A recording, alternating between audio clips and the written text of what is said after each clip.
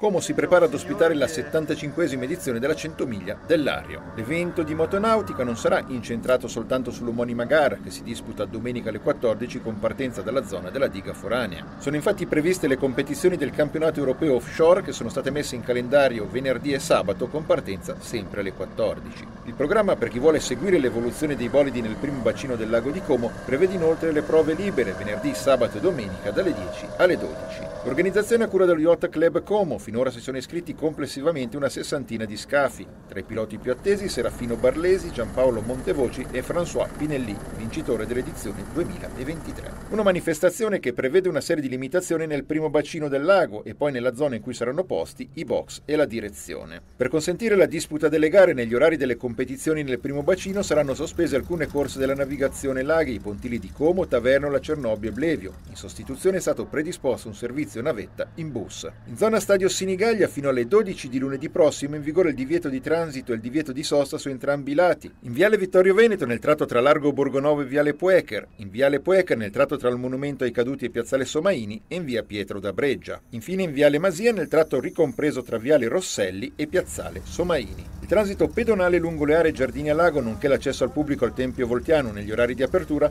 dovrà essere garantito sempre dagli addetti dell'organizzazione.